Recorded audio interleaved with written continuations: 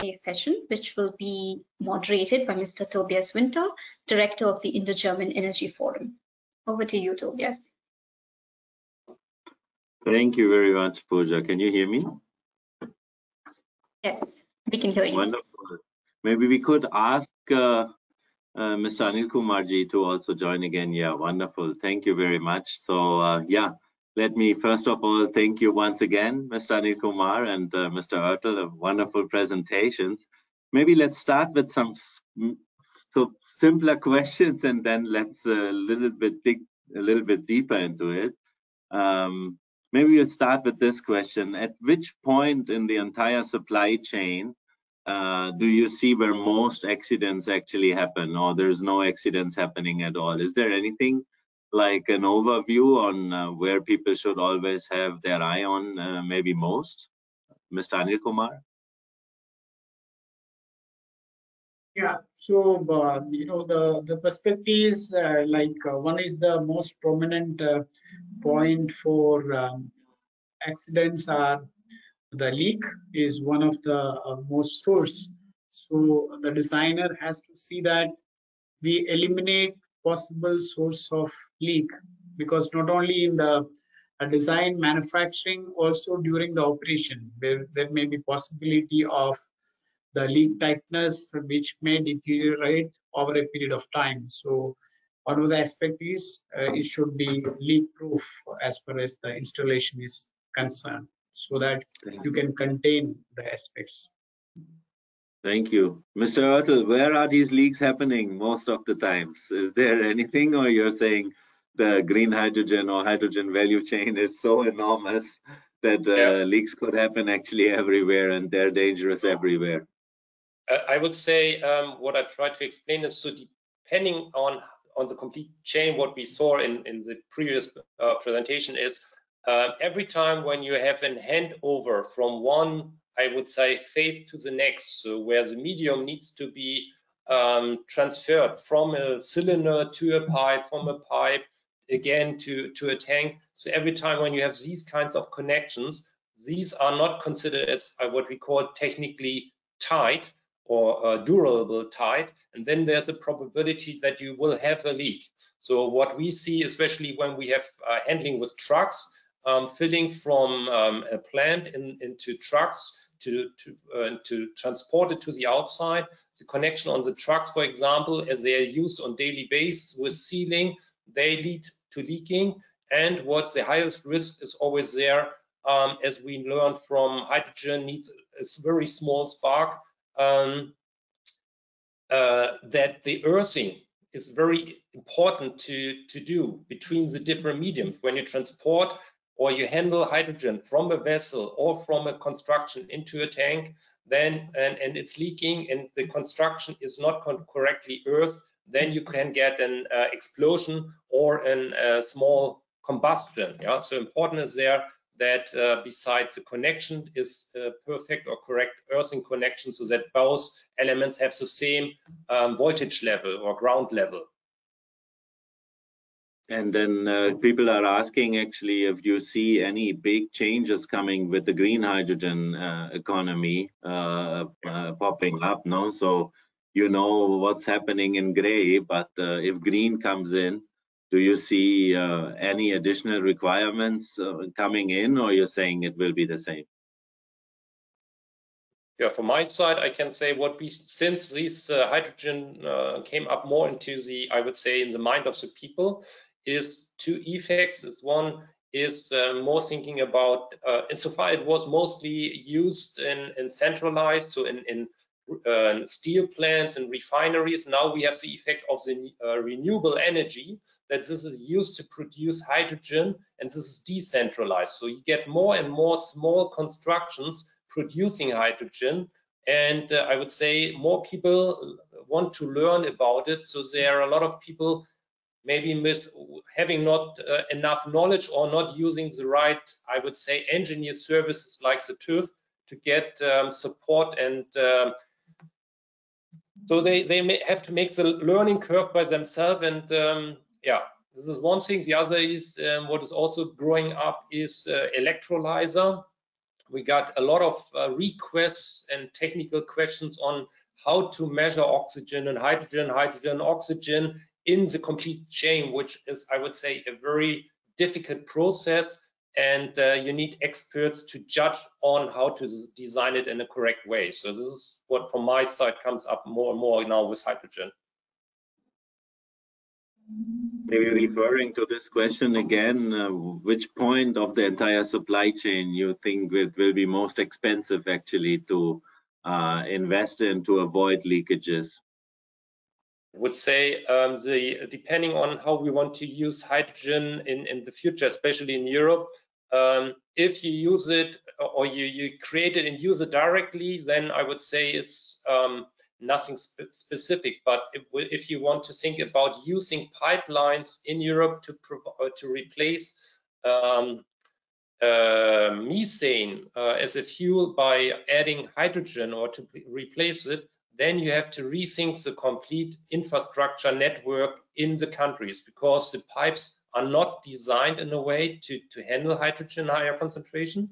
And uh, you need to think, this was also one of the questions, if you have natural gas, you have always an odorant inside. So if there's a, a leak, you will smell it as a user.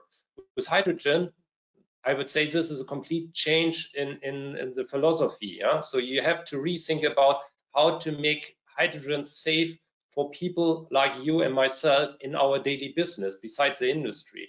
This, this will be, I would say, the biggest hurdle and, and how to use this that it's not only used in, in an industry area, but also in, in the community or in the public. Coming a little bit back to being used in industry, so I think there's no doubt, uh, uh, no secret about India being the third largest producer and consumer of gray hydrogen in the world. A lot of refineries are actually looking into how to blend green hydrogen uh, with the, their gray hydrogen on site itself. So you were referring to what's happening in industry uh, uh, on the industry side itself. Is there any specific requirements? There was a question on it for refineries actually now having also uh, uh, green hydrogen produced by electrolyzers on site, where they actually have to think of new standards and norms to be uh, introduced into their uh, standards and norms to be applied on site. So uh, now coming from gray hydrogen to green hydrogen on site in refineries, is there is there a lot of new things to think about, or you're saying what's what's so different about uh, if it's done by an electrolyzer than by steam reforming? Yeah, so um, if we're talking about now um, using or producing um, the hydrogen inside by electrolyzer, um, I would say this is there are new standards coming up, especially from the ISO, which I would say look at different elements of these, uh, like the electrolyzer itself or the compressor. So, and there are committees um, in Germany. It's the PTB and the BAM working on this because there's not so much, I would say, knowledge present or in there is knowledge, but it's not in one uh, put together. Yeah, so there are different committees now working, and uh, they try now to bring this in in like what we heard in my presentation in in one document or in one standard. So far, you have several um, different standards for the different elements of uh, the the processes, but there's not, I would say, under one roof so far. And that's that's the idea of the um, standardization of the ISC and as well of the um, notified bodies to build up the knowledge. Yeah. So and uh, even if hydrogen is already long time used, um, I would say there's not the competence under one roof completely now. Yeah? Maybe Mr. Uh, Anil Kumar can can something from point of a notified body to this because he has to to certify this. Yeah, I agree with uh, the point of Marcus. Yes, there is a standard for electrolyzer already in place, ISO 22734. But um, as far as the electrolyzer and then the certification process is in is in you know in the very formative stage, maybe uh, multiple drafters come and then maybe the next year it will come as a formal standard. But if you look at the refinery perspective, that is, uh, refineries are familiar with those risks associated because electrolyzer pay, per se, it produces hydrogen, but there are associated uh, activities like you have storage of hydrogen and then you know associated pipeline and then electrical and other safety is concerned. But it is the approach uh, perspective may not have much difference because you have process plant so how you approach for a risk assessment perspective will not have much effect but rightly marcus said putting all this together various uh, you know applicable directive together and come as a product standard to certify that will come soon yes Mr. Anil Kumar, thank you for uh, storage and transport. You had mentioned uh, for green, uh, for hydrogen, uh, uh, the accept, acceptable codes. So there's a question uh, from the audience, what is acceptable and for whom is these, were these mandatory standards already mandatory in India? Or are you saying these are minimum requirements which actually uh, TÜV Nord is applying? So what is meant by acceptable? And then uh, um, is there an overview actually on which kind of standards are already in place in India and uh, uh, also already been taken over by and, and uh, uh, uh, um, published by BIS? Or is there any website or standard compendium which you can actually recommend for everyone who actually wants to dig deeper into it? You're saying, hey, please, this is the website to visit there you'll find anything about the green hydrogen economy and the required standard and norms coming up. Maybe uh, Mr. Anil Kumar and then uh, uh, Mr. Ertel. Um, yeah, so as far as um, uh, construction codes are concerned or harmonized standards are concerned, there are standards which is available as on today. For example, um, the pressure vessel code for ASME is widely accepted and the codes permit to uh, make design, construction and manufacturing according to uh, the hydrogen service. So the codes are available. Similarly for German codes like AD 2000 already available and it is acceptable for code for manufacturing of hydrogen uh, pressure equipment. And in Europe, you have also um, uh, EN 13445, and also you have uh, the codes which is for liquefied um, uh, hydrogen. So, so because for aerospace and then other applications, already the liquefied hydrogen is being produced. Even in India, like you know, we have uh, companies in India has made about uh, 200 lakh liters of liquid hydrogen tanks made in India and exported. So there are uh, the codes and standards and manufacturing capabilities also within India for you know the the, the hydrogen uh, tanks or hydrogen compressed as well as liquefied pressure vessels. And also the pipelines um, for low pressure hydrogen conveyance like existing planes of designed according to 31.3. The certain grades of ASME, uh, API uh, 5L, PSL2 grades are suitable for hydrogen service, but those uh, pipelines are in use for um, uh, hydrogen in refineries. You know? So it's not that it is new in our country or globally the standards.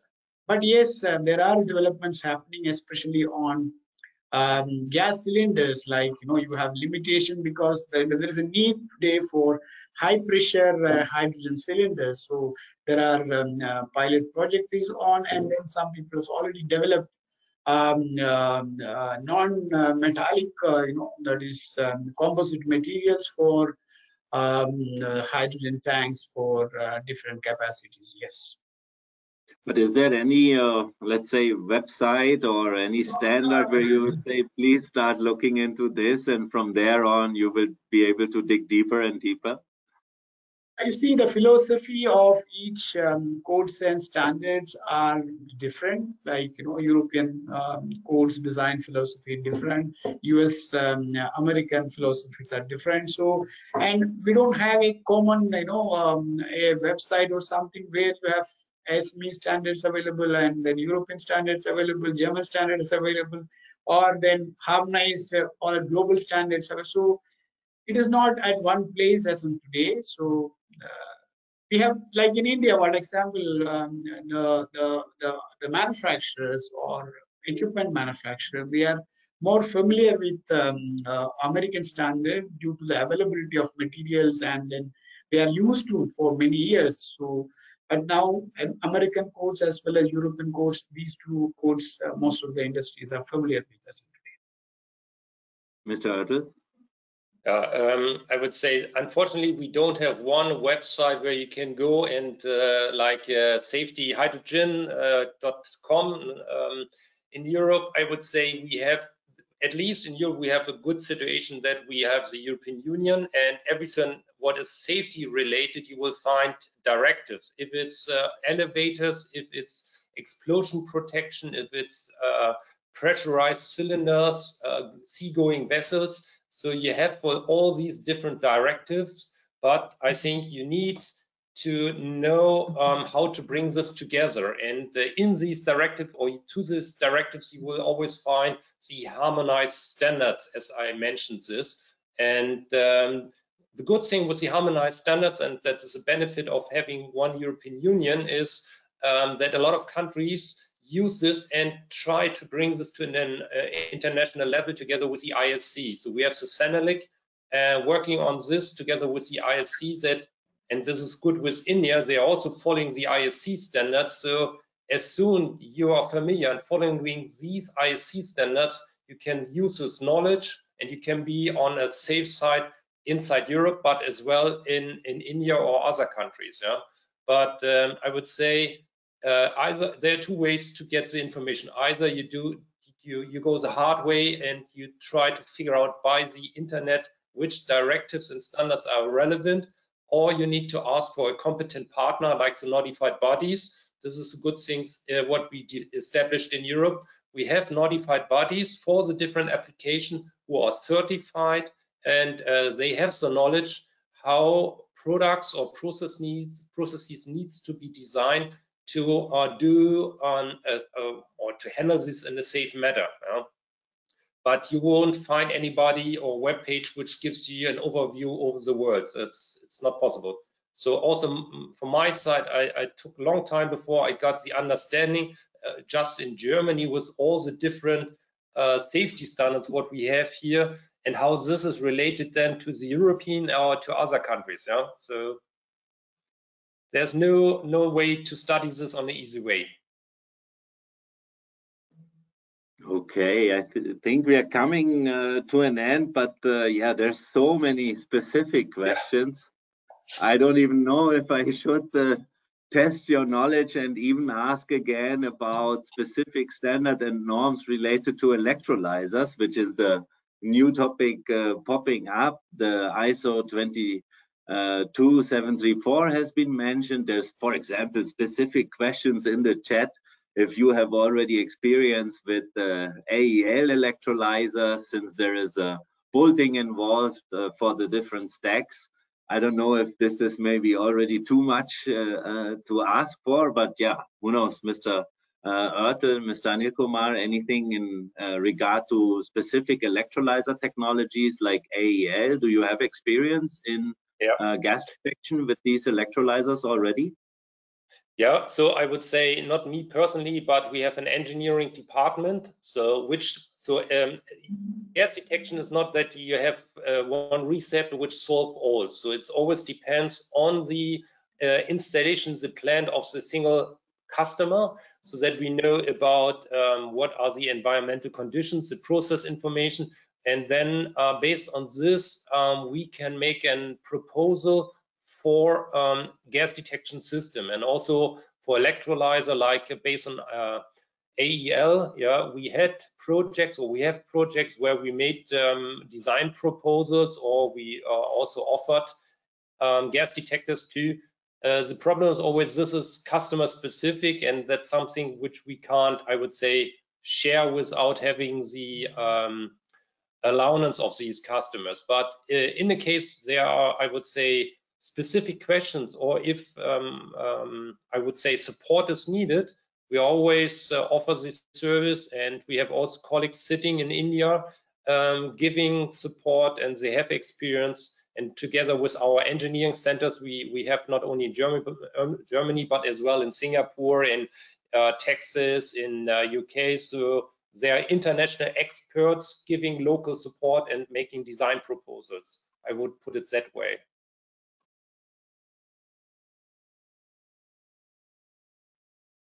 Mr. Anil Kumar, anything from your side? Yeah, this um, electrolyzers, um, uh, uh, the alkaline electrolyzer installations um, is already uh, uh installed in India, and uh, I believe it's, it's it's last year it is done, so it's under operations um, within India alkaline electrolyzers. Uh, but in general, the the only standard now available is ISO 2734 and um, the manufacturers uh, India India also in the process of certifying these electrolyzers for ISO 22734 but formally uh, the the the common product standard for the complete installations are yet to uh, come up. You know that's that's wonderful. Then uh, thank you very much. And maybe a closing uh, remark from your side mr Ertel any final statement you would like to make as a message uh, to our friends from India? Um, yeah, first of all, thank you for having the chance to join this and also to have the possibility to give some, I would say, um, experience and information about, in general, about gas detection. And um, yeah, if if there are interests, um, feel free to contact us or myself to, to raise questions. And um, I'm looking forward, especially for this country, um, for the future to um, how this will develop. And um, it was a great pleasure to join here. Thank you. Thank you very much, Mr. Ertel. Mr. Anil Kumar, final remarks from your side. Yeah, so India has a, a potential country, and you know that is so there is a lot of things are happening and uh, India is taking lead on this renewable as well as the, the hydrogen initiative. So uh, all the stakeholders like, you know, so notified bodies, then, you know, government, regulators, and all the companies who are implementing this projects So they have to come together and um, work together to make uh, hydrogen is safe and, you know, we will shift towards um, uh, net zero, uh, uh, like our minister's prime minister's vision by 2070 net zero. And not only for India, we will also contribute for all the other countries as well to make globally this net zero possible on a global level. Yes, I'm sure. Thank you. Then thank you very much to uh, our esteemed speakers, Mr. Ertel uh, from Draeger and Mr. Anil Kumar from TÜV Nord. Thank you very much. Also thanking uh, IGCC for having organized this important sessions. Thank you for making available the presentation later on for everyone interested. And uh, yeah, least, uh, last but not least, uh, thanking all the participants who've stayed uh, uh, online until now with specific interest in this session. Thank you very much, Pooja, for your uh, wonderful uh, moderation. And yeah, uh, looking forward to further discussions and India to become this global green hydrogen hub